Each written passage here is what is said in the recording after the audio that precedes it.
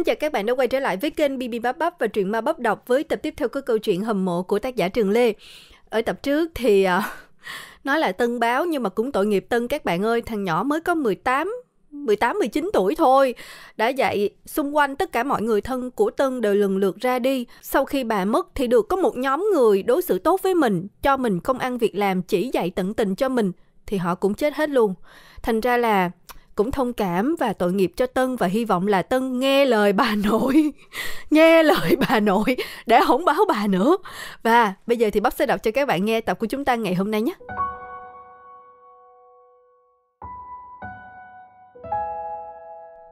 Giờ ra chơi. Trong khi các bạn đã rời khỏi lớp để giải tỏa sau hai tiết học căng thẳng, thì Lý vẫn như thường lệ. Cô ngồi lại trong lớp, ôn lại bài và chuẩn bị sách vở cho tiết học sau. Lý ngẩng mặt lên nhìn. Thì ra là Tiên, bạn thân nhất của cô, vừa đặt chai nước C2 trên mặt bàn rồi nói. Uống đi này, bộ không còn hứng thú nào khác ngoài việc học à? Học nhiều cũng tốt, nhưng đôi lúc phải vận động, thư giãn một chút chứ. Hay là sợ mất danh hiệu học sinh đứng đầu của lớp? Lý cười nhẹ, cô khẽ trả lời. Đồ khùng, bộ biết mình không phải vậy mà. Mỗi người có một cách thư giãn riêng. Đối với mình thì ôn bài cũng là một cách để thư giãn. Cảm ơn bồ về chai nước.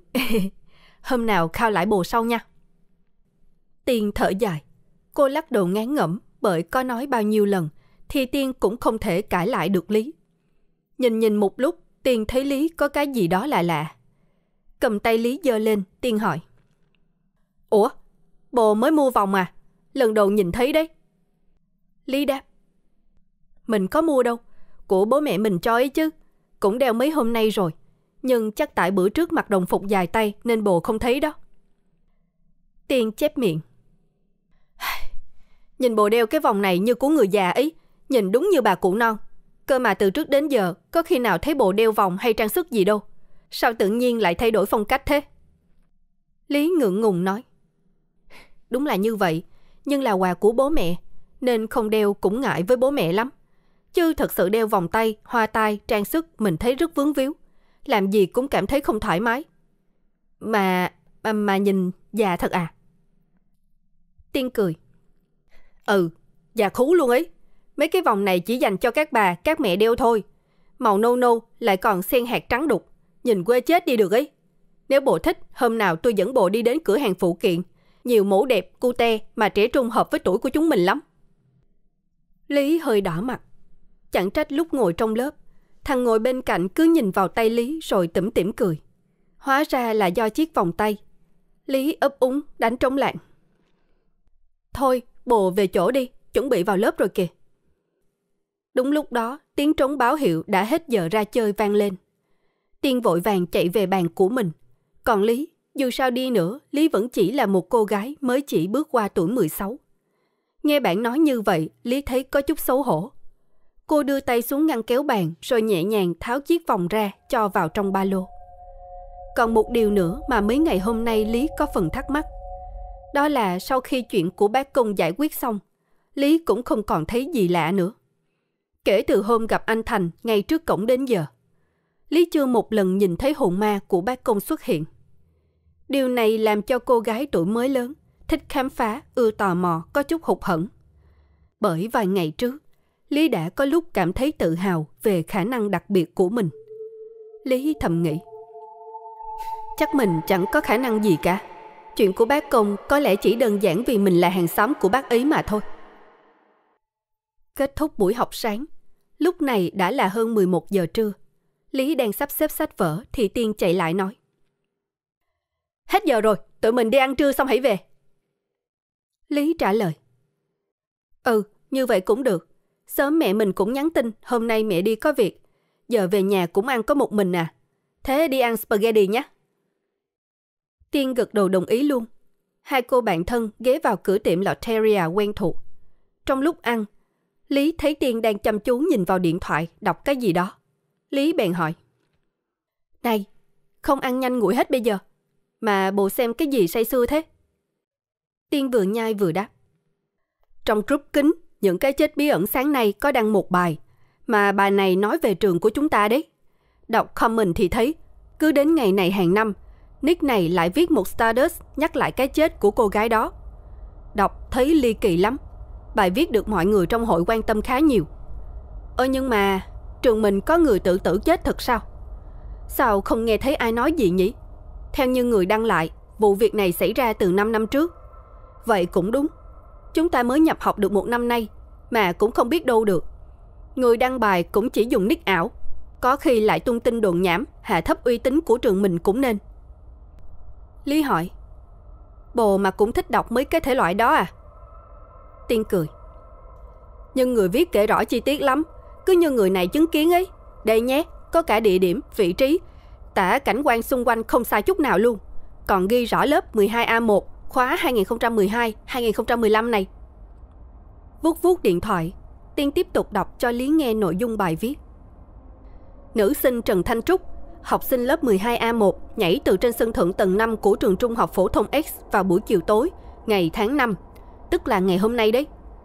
Cái chết đã gây xôn xao tất cả mọi người, bởi xác nạn nhân sau khi cắm đầu xuống đất đã gần như nát không còn có thể nhận dạng. Phía công an đã kết luận đây là một vụ tự tử do những nhân chứng trong trường như thầy cô giáo bộ môn, bạn bè cùng lớp đều nói trước khi tự tử, tình trạng tâm lý của Trúc bất ổn định. Cô hay có biểu hiện buồn rầu, không hòa đồng với các bạn. Nhà trường cũng cho biết thêm, điểm số của Trúc thời gian đó giảm sút rõ rệt. Trúc hay bỏ học không lý do.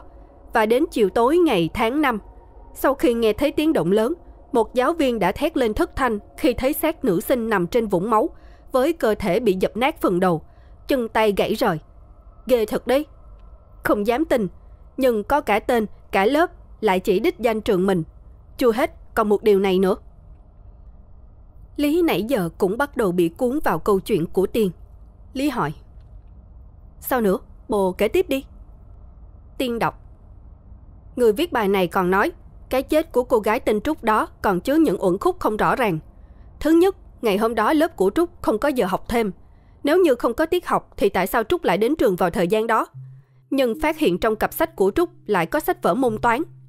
Tiếp đó nữa là trong tay thi thể Trúc, người ta thấy cô ấy đang nắm một sợi dây chuyền làm bằng vàng trắng. Cuối cùng, lời nói của bố mẹ nạn nhân đều khẳng định con mình không hề có dấu hiệu bất ổn tâm lý và việc học của con vẫn rất tốt. À, còn một điều này. Nếu theo như lời người đăng bài thì trong hôm nay hoặc ngày mai, trường chúng ta sẽ xuất hiện một sự việc kỳ lạ. Trong trường sẽ có dòng chữ được viết bằng máu. Tôi vẫn còn sống. Sự việc này đã diễn ra trong hai năm qua. Tuy nhiên mỗi năm, dòng chữ đó lại xuất hiện ở những nơi khác nhau. Này, còn có cả ảnh chụp luôn. Nãy mạng kém không lố được. Lý, bộ nhìn xem. Tiên vội đưa điện thoại cho Lý. Quả đúng như vậy, Dòng chữ tôi vẫn còn sống được viết bằng loại sơn hay mực đỏ như máu trong bức ảnh đầu tiên là ngay sân trường, nơi được cho là xác của Trúc rơi xuống khi tự tử. Còn bức ảnh thứ hai chính là bức tường trước cửa ra vào của lớp 12A1. Hai địa điểm này chính xác là trong trường của Lý. Xem thêm vài tấm ảnh nữa. Cả Tiên và Lý đều ngạc nhiên khi người đăng bài còn đưa cả ảnh của cô gái tên Trần Thanh Trúc khi còn sống và đang mặc đồng phục của trường. Tiên nuốt nước bọt, Tiên khẽ nói, Vậy đúng là thật rồi Thật không ngờ trường chúng ta lại xảy ra chuyện này luôn Ly kỳ quá đi mất. Tôi phải tìm hiểu chuyện này mới được Để đọc comment xem có biết thêm gì được không. Lại đào mộ à? Đến hẹn lại lên. Người ta đồn trường đó có ma. Sau khi cô gái kia chết Thì bảo vệ trường đó đã phải nghỉ việc mấy người. Chuyện này tôi có nghe kể nè Chỉ có điều bài đăng ra bên ngoài đều bị xóa ngay sau đó. Ngôi trường đó toàn học sinh giỏi, lại con nhà giàu, vậy nên mọi thông tin đều bị giấu kín. Bài này rồi cũng sẽ bay màu ngay thôi. Tiên vừa đọc vừa nói. Tại sao một chuyện hấp dẫn như thế này mà đến giờ mình mới biết chứ? Bỗng nhiên lại mong đến ngày mai quá. Không biết dòng chữ đó có xuất hiện không nhỉ? Mà nhìn chị Trúc này công nhận xinh thật đấy. Thời đó cỡ bà này phải hot girl trong trường chứ chẳng đùa. Tự dưng chết ổn thế không biết. Thấy Lý im lặng nãy giờ, Tiên huyết tay hỏi.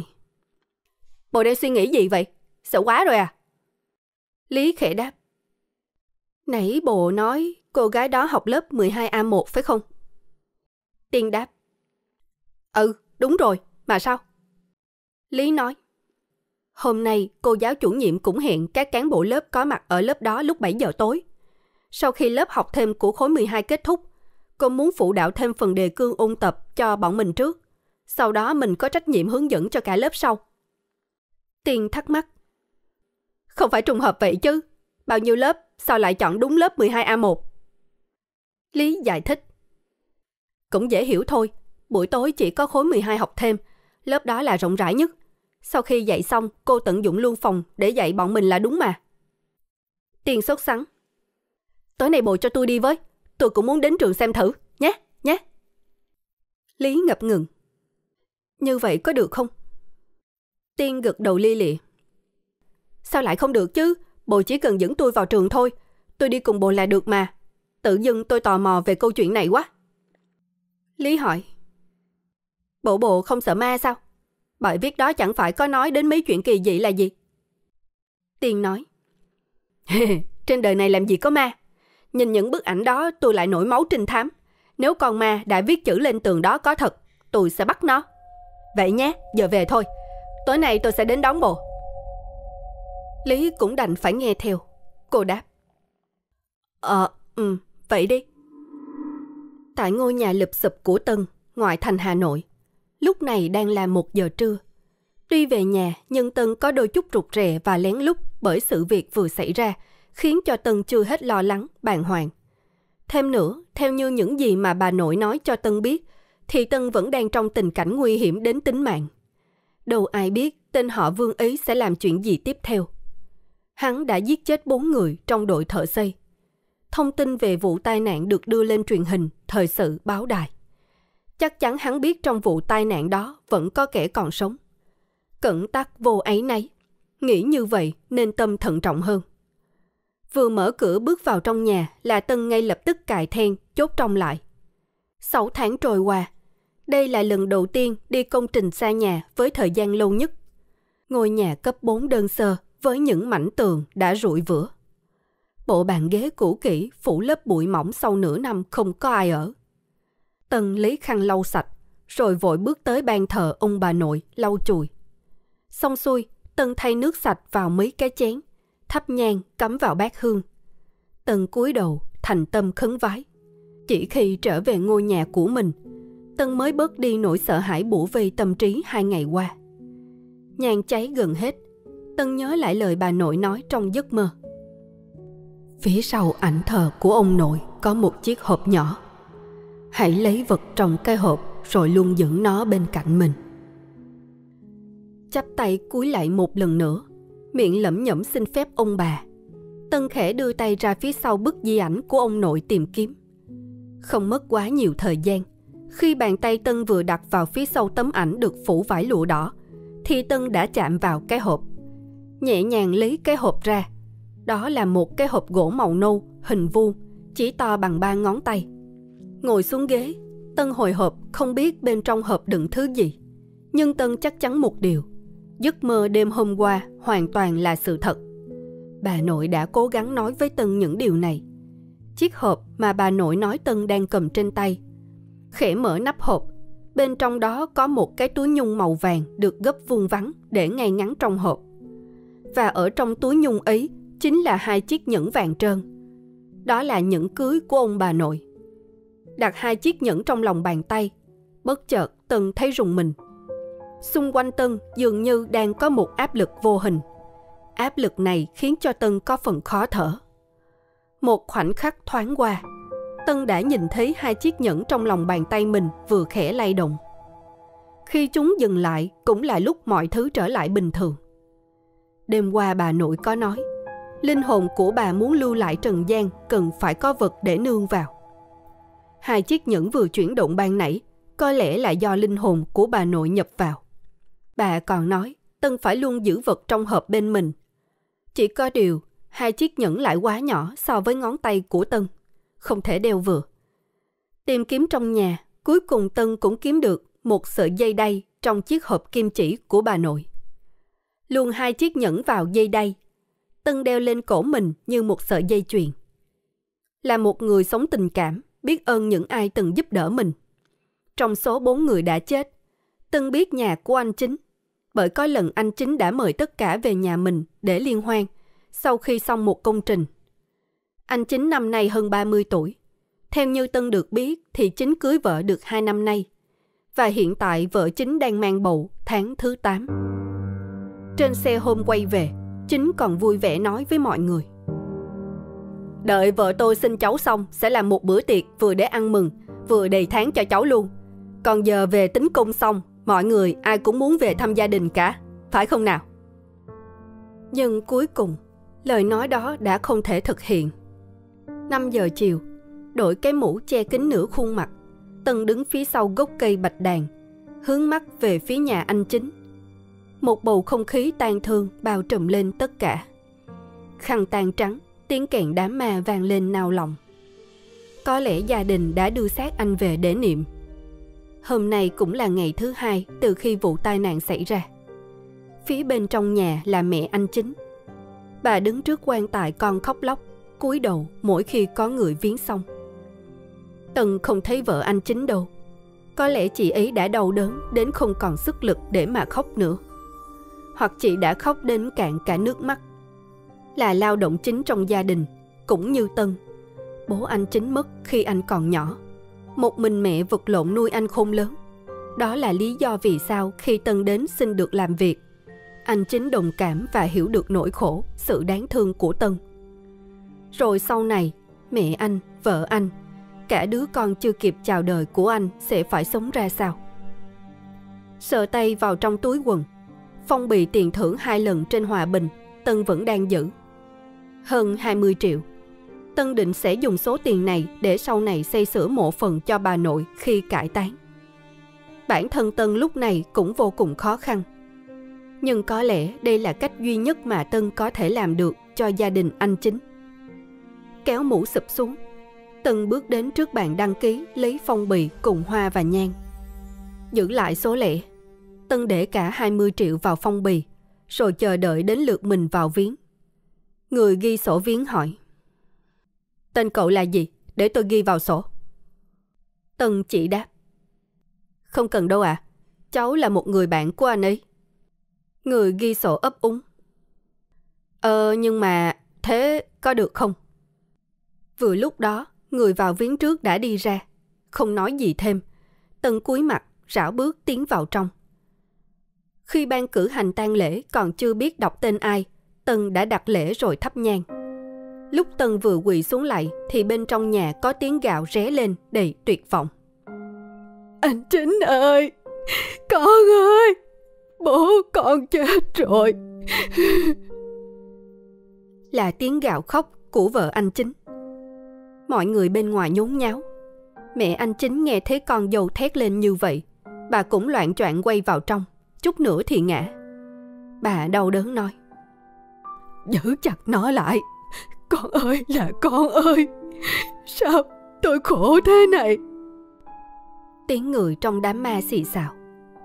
Sáng nghe chồng gọi điện báo đang về. Đến chiều nghe tin chồng bị tai nạn chết. Nó khóc ngất lên ngất xuống. Lại còn đang chữa sắp đẻ thế kìa. Không cẩn thận là chết đi. Tân không dám nhìn. Lạy trước quan tài anh chính ba lạy. Tần rơi nước mắt dạng dùa. Anh chính, em xin lỗi. Bát hương Tân vừa cắm nhang đột nhiên cháy rực. Ngọn lửa vụt lên rồi nhanh chóng tắt ngâm Sự việc khiến cho tất cả những ai có mặt ở đó đều phải giật mình. Mẹ anh chính thấy vậy lại càng khóc to hơn. Chính ơi, con về phải không? Sao con đi nhanh như vậy? Chính ơi, Chính ơi. Tần nước mắt đầm đìa, cúi gục mặt xuống. Tân bước ra khỏi cổng nhà anh chính.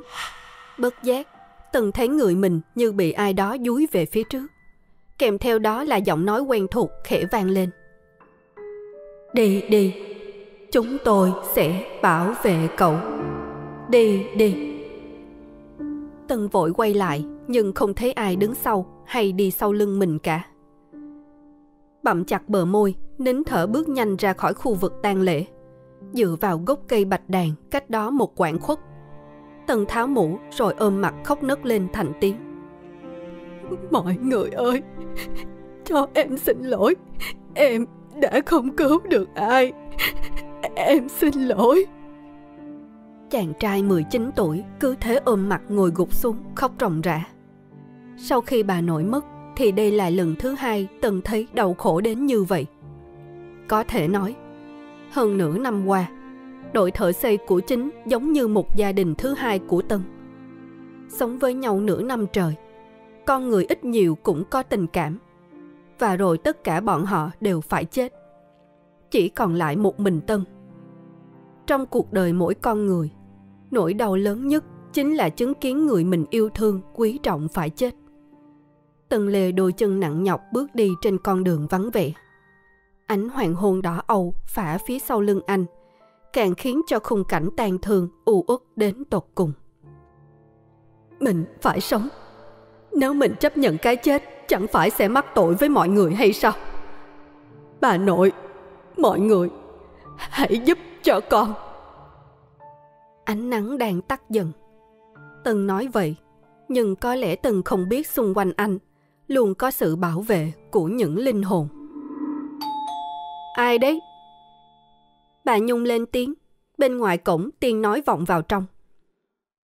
Cháu chào bác, Lý có nhà không hả bác? Bà Nhung nhận ra đó là bạn của con gái mình. Bà Nhung mở cổng rồi trả lời. Có chứ, nó vừa ăn cơm xong rồi chạy lên phòng. Bảo hôm nay cô giáo chủ nhiệm hẹn đến trường phụ đạo gì đó. Cả cháu cũng đi phải không? Tiên cười. Dạ đúng rồi bác, nên cháu đến đón bạn ấy đây. Hai bọn cháu đi xe máy điện cho nhanh bác à. Hai bác cháu đang nói chuyện thì Lý từ trong nhà bước ra. Lý nói. Bộ đến rồi à? Vậy tụi mình đi thôi. Mẹ ơi, con đi mẹ nhé. Lát bố về, mẹ bảo bố giùm con nha. Con đi đây. Bà Nhung gật đầu. Ừ, vậy hai đứa đi cẩn thận, đi chậm chậm thôi. Lên xe Tiên, thấy Tiên đeo ba lô, Lý hỏi.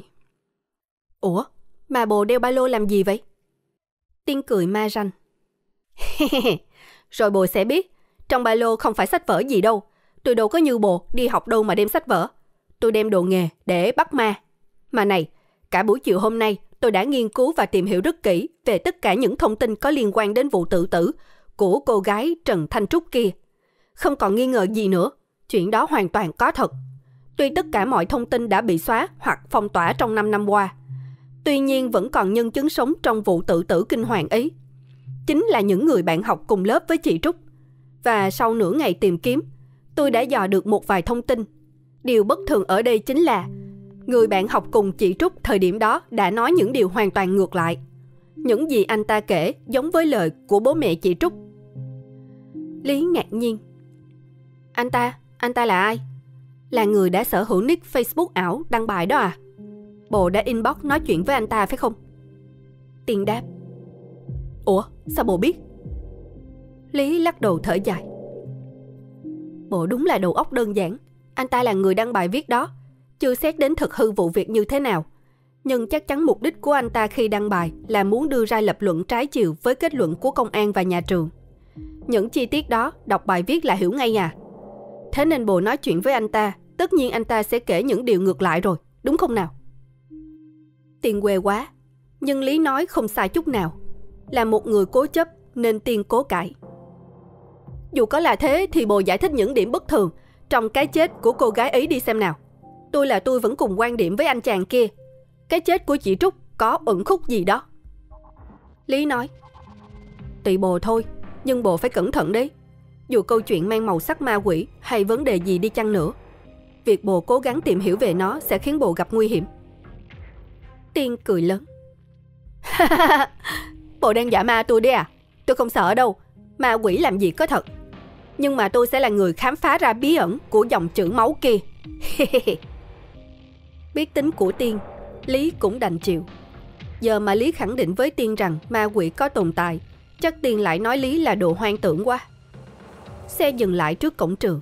Bác bảo vệ bước ra hỏi. Hai đứa đến trường giờ này làm gì vậy? Không phải khối 12 học thêm phải không? Lý chào bác bảo vệ rồi nói. Dạ không ạ. Cô Hường chủ nhiệm lớp cháu nói đến để học phụ đạo. Bác bảo vệ gật gù. À, là lớp của cô Hường hả? Nãy cũng có mấy đứa đến rồi, thế vào đi. Tiền huyết vai Lý. Chắc là bọn cái châu lớp trưởng đi. Lát gửi xe xong tôi biến nhé, bồ cứ vào học. Khi nào xong thì nháy điện thoại cho tôi, ok? Muốn ngăn cản bạn, nhưng nhìn Tiên quyết tâm như thế, Lý cũng bó tay. Vừa gửi xe xong, đi được một đoạn, Tiên tách ra rồi lẫn mất. Lát sau lớp 12A1, các anh chị học thêm buổi tối cũng ra về. Lý cùng vài bạn nữa trong ban cán bộ lớp bước vào trong. Cô trưởng nhiệm nói. Các em ổn định chỗ ngồi đi, rồi chúng ta bắt đầu. Gần 2 tiếng sau, buổi phụ đạo trao đổi giữa cô giáo và cán bộ lớp cũng kết thúc. Nhìn đồng hồ đã gần 9 giờ tối. Bên ngoài sân trường tối om, bởi giờ này khu vực nội trú cũng đã tắt điện gần hết. Cô giáo đứng dậy nói. Cũng không còn sớm nữa, các em về nhà cẩn thận nhé. cô xin lỗi vì đã yêu cầu các em đến đây vào giờ này. Vừa nói, bụng cô giáo vừa sôi òng ọc. Mọi người đều đoán tối nay cô chưa ăn gì. Dạy thêm xong, cô lại tiếp tục phụ đạo, hướng dẫn cho nhóm của Lý. Lớp trưởng Châu đáp. Dạ, chúng em phải cảm ơn cô mới đúng chứ à. Cô cứ ra trước đi à, bọn em chỉnh lại bàn ghế, lầu bạn với quét lớp xong sẽ về sau. Cô chủ nhiệm cười hiền hậu rồi khẽ gật đầu. Nhóm cán bộ lớp có 6 người tất cả. Mỗi người một tay một chân dọn dẹp ngăn nắp để trả lại lớp cho khối 12 sáng mai còn học. Đang lau dọn thì... Bốn bề xung quanh tối đen như mực, toàn trường mất điện. Lúc này chẳng ai nhìn thấy ai cả. Phải mất gần một phút khi mắt đã quen với bóng tối, cộng với ánh sáng mờ mờ bên ngoài trời hắt qua cửa lớp. Mọi người mới có thể di chuyển. Châu nói. Chết thật, mất điện rồi, còn chưa quét xong. Làm sao bây giờ? Mà trường mình chắc phải có máy phát chứ nhỉ? Một bạn khác đáp. Có máy phát, nhưng vào giờ này còn ai học hành gì đâu mà chạy. Thôi các bạn bỏ điện thoại ra soi đèn pin đi. Tớ hốt nốt rác rồi chúng mình về. Mai có gì báo với cô sau vậy? Ý kiến đưa ra hợp lý, cứ nhị nhằn trong trường thế này cũng không phải cách hay. Giờ cũng đã 9 giờ tối. Mọi người cùng bỏ điện thoại ra soi đèn. Đang hút rác thì... Một chiếc điện thoại không biết của ai rơi xuống sàn nhà. Cô bạn cầm gầu hot hỏi. Sao lại rơi điện... Nhưng chưa kịp nói hết câu thì cô giật mình bởi một giọng hét thất thanh. Mà! Có mà! Cả đám giật mình. Tiếng hét vừa rồi là của Châu. Quá sợ hãi, Châu đã đánh rơi điện thoại xuống đất. Vừa hét, Châu vừa chỉ tay ra bên ngoài cửa sổ hành lang. Một cái bóng trắng với bộ tóc dài xõa kín khuôn mặt, chỉ lộ ra duy nhất hai con mắt trắng ẩn. Không chỉ vậy, có thứ gì đó đang chảy tong tong từ khuôn mặt của nó xuống thành cửa sổ. Các bạn ơi, mình đây, mình là Trúc đây. Lý cũng phải nổi da gà khi chứng kiến cảnh tượng này. Những người còn lại đứng không vững nữa. Tất cả như một phản xạ tự nhiên là lùi hết vào bên trong lớp học. Châu là người sợ nhất. Châu đổ xuống như một cây chuối rồi bất tỉnh nhân sự. Tiếng cười ghê rợn cùng giọng nói của con gái vẫn tiếp tục vang lên trong bóng tối nhập nhoạn. Cái bóng trắng với mái tóc rủ rượi cứ thế nhuyễn miệng, nhìn đau đáu vào bên trong lớp học, rồi lướt qua lướt lại một cách kinh hoàng. Cả nhóm sáu người lúc này chỉ còn mỗi mình Lý là đứng vững. Khi bốn người bạn còn lại đang gào thét kinh sợ. Má, cứu tôi với! Thị Lý vẫn nhìn thẳng vào thứ đó cho đến khi nó biến mất.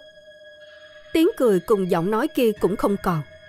Trong lớp học lúc này chỉ vang vọng tiếng khóc hoảng loạn của những cô nữ sinh tội nghiệp mà thôi. Khi cái bóng trắng đó biến mất, Lý cũng lập tức lao ra bên ngoài. Không còn gì ở đó cả. Dưới sân trường tối đen. Nhưng tại sao tiếng la hét của mọi người nãy giờ khá lớn mà bác bảo vệ không xuất hiện? Chẳng phải trường Lý có đến bốn bác bảo vệ chia thành hai ca hay sao? Bất giác, Lý nhớ ra một người. Tiên, cậu ấy đâu rồi? Mình đã quên mất, đã hai tiếng trôi qua. Cậu ta đang làm gì chứ? Không ổn rồi. Thấy Lý định chạy đi đâu đó, mấy người bạn còn lại lo lắng hỏi. Lý, cậu định đi đâu? Lý cũng không thể nói là cô muốn đi tìm Tiên nhưng nhìn các bạn đang vô cùng hoảng loạn, Lý đáp. Châu đang bất tỉnh, tạm thời mọi người hãy ở yên đấy. Tớ chạy đi tìm bác bảo vệ nhờ giúp đỡ. chăm sóc cho Châu cẩn thận nha, đợi tớ quay lại. Dứt lời, Lý chạy vụt đi. Hành lang lên xuống của trường vô cùng tối. Vừa đi, Lý vừa gọi điện thoại cho Tiên. Nhưng không hiểu sao, điện thoại báo chuông. Tuy nhiên Tiên lại không hề bắt máy. Cuối cùng Lý cũng chạy xuống được sân trường. Tiếp tục chạy thục mạng về phía phòng bảo vệ. Chẳng hiểu sao cho đến tận lúc này, bảo vệ của trường vẫn không thấy ai xuất hiện. Phòng bảo vệ cũng tối, không có chút ánh sáng. Lý bắt đầu cảm thấy có chuyện chẳng lành. Đầu tiên là việc cả trường mất điện. Trong khi đó, xung quanh khu vực trường học vẫn có ánh đèn. Ngay sau đó là sự xuất hiện của bóng ma bên ngoài cửa sổ phòng học lớp 12A1. Giọng nói u ám, vô hồn phát ra ý có nói rằng cô ta là Trúc. Và ngày hôm nay cũng chính là ngày mà Trần Thanh Trúc tự tử ngay tại trường. Cuối cùng, sự im lặng cũng như bảo vệ của trường không có bất cứ hành động nào suốt khoảng thời gian 10 phút trôi qua thật đáng lo ngại. Lẽ ra hai bác bảo vệ phải lập tức đi kiểm tra hệ thống điện, hoặc chí ít cũng phải dạo một vòng xem có còn ai trong trường không chứ.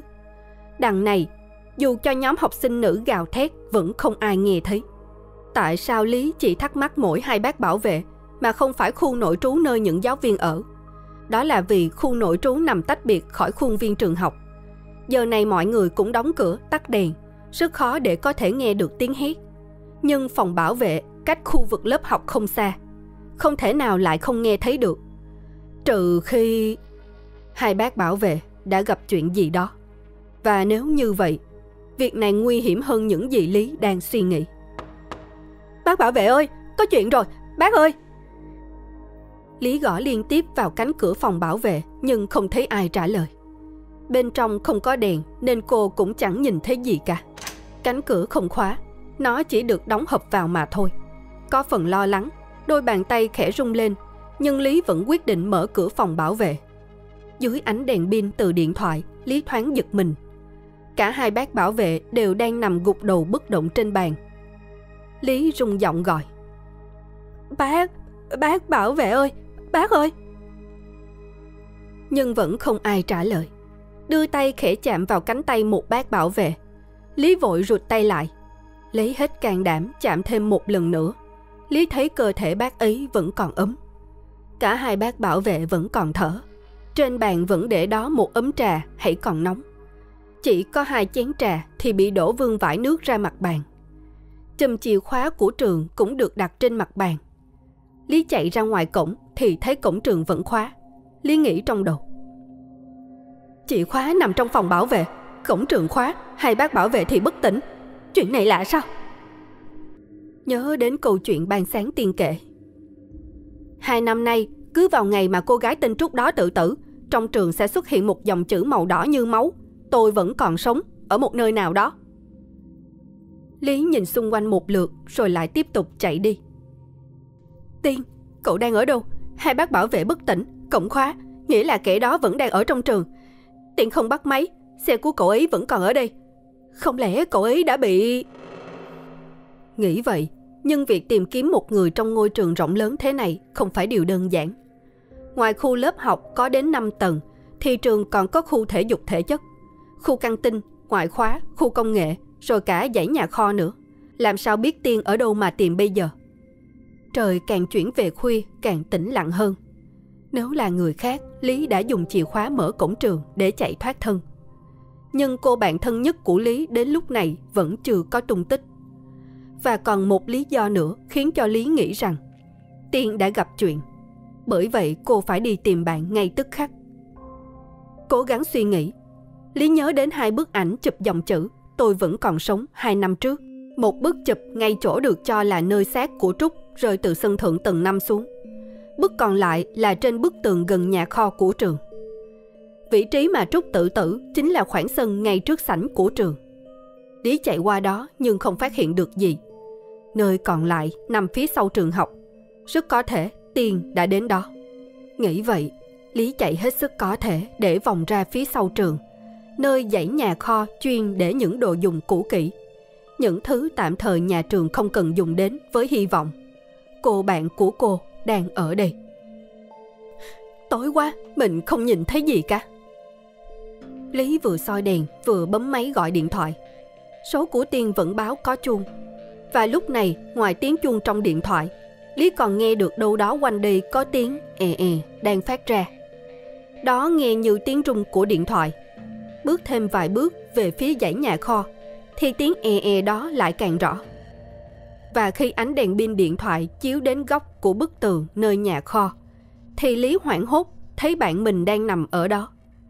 Tiếng e e phát ra khi Lý gọi điện vào máy của Tiên. Lý chạy lại vực Tiên dậy rồi kiểm tra xem Tiên còn thở không. May mắn làm sao, cũng giống như hai bác bảo vệ, Tiên chỉ bị ngất đi. Lay người Tiên một lúc sau thì Tiên cũng tỉnh. Nhưng Tiên đưa tay ra về phía sau đầu rồi khẽ kêu lên. Đau, đau quá. Lý, Lý à, tụi mình đang ở đâu đây? Lý thấy Tiên tỉnh lại thì mừng phát khóc. Lý đáp. Bộ tỉnh rồi, bộ có biết tôi lo lắng lắm không? Tại sao bộ lại nằm ở đây? Sau mấy giây định hình thì Tiên cũng bắt đầu nhớ lại. Tiên ngồi bật dậy rồi tái mặt nói. Tôi nhớ lúc đó tôi đang đặt máy quay thì bất ngờ bị đánh ngay sau gáy. Thôi chết, máy quay, máy quay của tôi. Tiên vùng dậy, đứng lên quá bất ngờ nên Tiên loạn choạng suýt ngã. Chỉ tay về phía gờ tường trước mặt, Tiên tiếp. Giúp tôi xem ở đó có chiếc máy quay nào không? Lý kiểm tra nhưng không thấy. Tiên vội lục ba lô. Bên trong những thứ như đèn pin, flycam hay máy ảnh vẫn còn. Thậm chí hai chiếc máy quay phim loại nhỏ khác cũng vẫn còn nguyên. Chỉ duy nhất chiếc máy Tiên đặt trên gờ tường kia là không thấy. Nhìn xung quanh, Tiên lúc này mới nhận ra. Nãy giờ nơi này không có điện. Lý nói. Tôi cảm thấy chuyện này không ổn. Cả trường mất điện đến bây giờ vẫn chưa có. Hai bác bảo vệ cùng với bộ bị ngất. Khi mất điện, bọn tôi còn nhìn thấy một thứ đáng sợ nữa. Phải ra khỏi trường ngay. Theo như tôi nghĩ, kẻ đánh ngất bộ và hai bác bảo vệ vẫn đang ở trong trường. Bộ đi được chứ? Tiên đeo ba lô lên rồi gật đầu. Đi thôi.